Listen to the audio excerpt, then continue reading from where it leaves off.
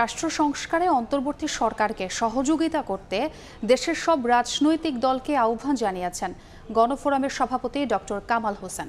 সকালে রাজধানীর ইঞ্জিনিয়ার্স ইনস্টিটিউশনে গণফোরামের সপ্তম কাউন্সিলে বক্তব্যে কথা বলেন তিনি।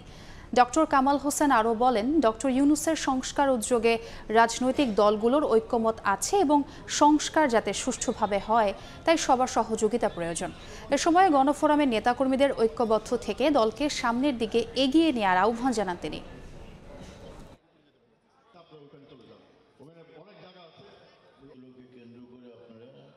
ঐক্যকে আরও সুসংগত করার জন্য কাজ করে যাবেন এবং সেই ঐক্যর মধ্যে দিয়ে আমাদের যা কিছু অর্জন আমরা করতে পারব। এই ঐক্য না হওয়াতে আমাদের অনেক ক্ষতি হয়েছে অতীতে। এবার যেন যে ঐক্য আমরা গড়ে তুলতে পেরেছি, এটাকে আমরা সুসংগত করে আমাদের যে ঘোষিত লক্ষ্যগুলো, আমরা যেন অর্জন করতে পারি।